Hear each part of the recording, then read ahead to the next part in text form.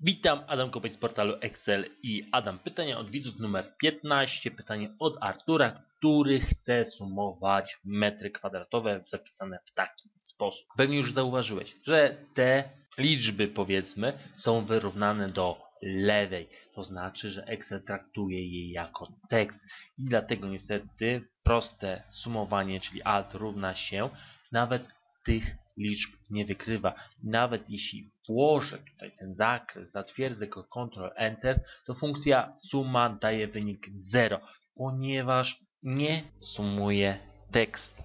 Rzecz jak najbardziej normalna. Więc potrzebuję wyciągnąć z tego tekstu wartość liczbową. Najprościej to zrobić funkcją lewy, czyli z tego tekstu ja chcę wyciągnąć kawałek mniejszy o te dwa ostatnie znaki metr kwadrat.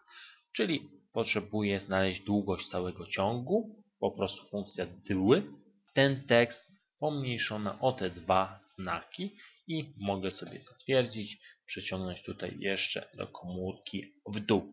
Ale dalej widać, że to jest tekst, bo jest wyrównany do lewej. Więc jeszcze raz potrzebuję sobie podejrzeć i zamienić go na liczbę. Najprościej to zrobić w Excelu na przykład dodając 0. Zatwierdzam i teraz już mam liczby. A jak mam liczby, to alt równa się suma i zostało zrobione jak należy, posumowane. Zróbmy teraz opcję bardziej zaawansowaną. Wszystko, co zrobiliśmy tu obok, w dodatkowej kolumnie, zrobimy teraz w jednej komórce.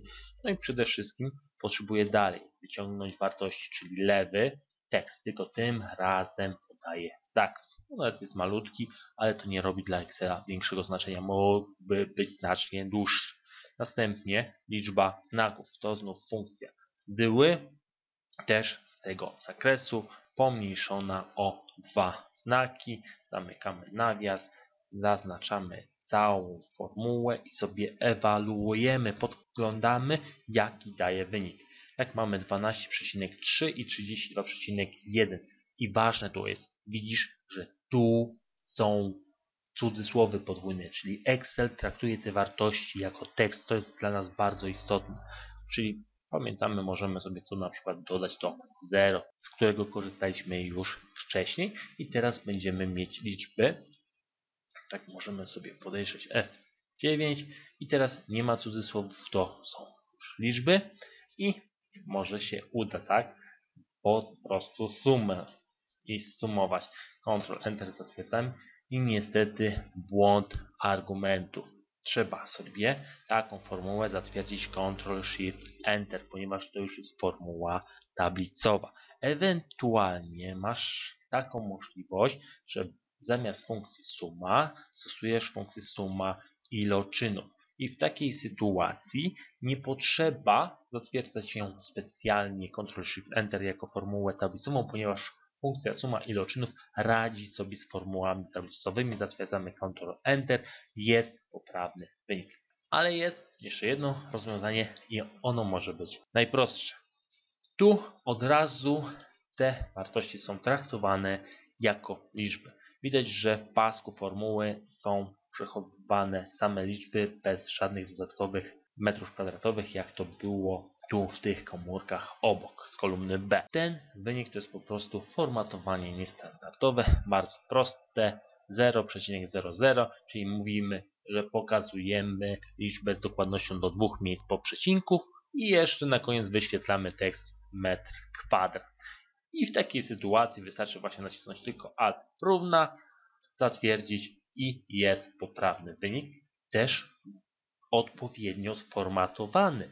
Już ma ten metr kwadrat na końcu, a tu w tych formułach nie był on dodawany. Co prawda mógłbym go sobie dosyć łatwo dodać, łącząc tą wartość z właśnie z tekstem m kwadrat i zatwierdzić literem na końcu. Też jest wynik.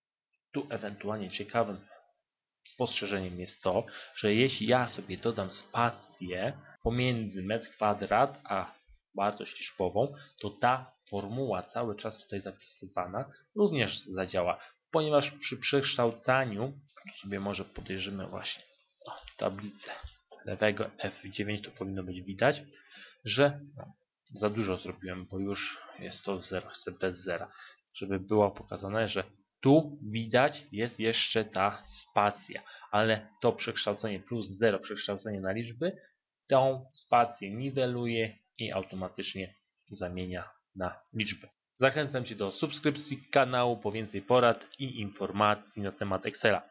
Jeśli masz problem z Excelem, napisz do mnie